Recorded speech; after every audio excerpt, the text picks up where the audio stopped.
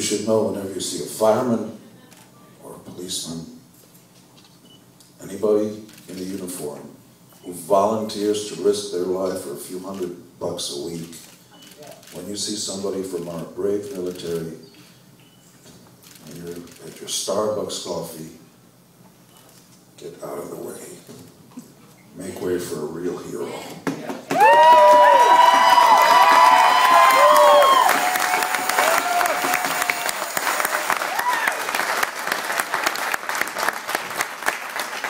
It's good to do these sorts of things to remind ourselves that there but for the grace of God, we will all be rotting in hell if it wasn't for our brave men and women in uniform who make our lives possible.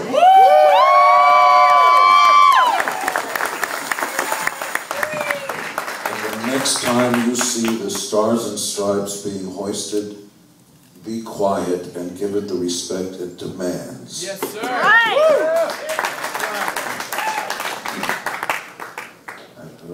Don't to get too. Uh, Do it. Love you, Jack. You rock, Love it, Gene. the ones who come back, who survived, who were battered physically and mentally. Our government does everything in its power, spends all kinds of money to get them battle ready, the best armor, the best everything, the best guns, the best training.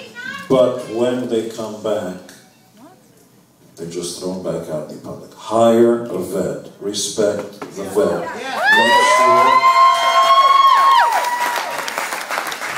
they are there's somebody's son, there's somebody's sister, there's somebody's daughter, there's somebody's wife, their husband treat them with the honor that they earned by going out there and risking yeah. their lives for you. Yeah.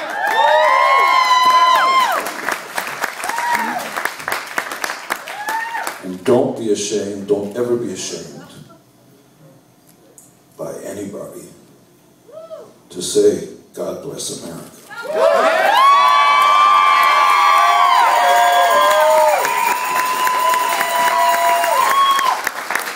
Now, we're something special for you, Gene.